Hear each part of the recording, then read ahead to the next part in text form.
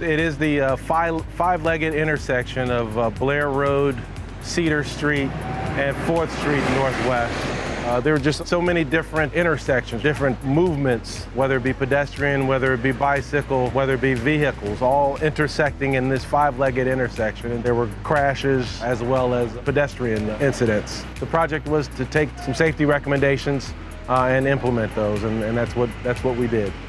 A big part of it was uh, safety improvements, bump outs, dedicated bike lanes, We've got uh, new Washington Globe uh, street lights uh, throughout the project, ADA compliant, wheelchair uh, accessible curb ramps. All, all, those safety improvements was really the big, uh, the big driver of the project.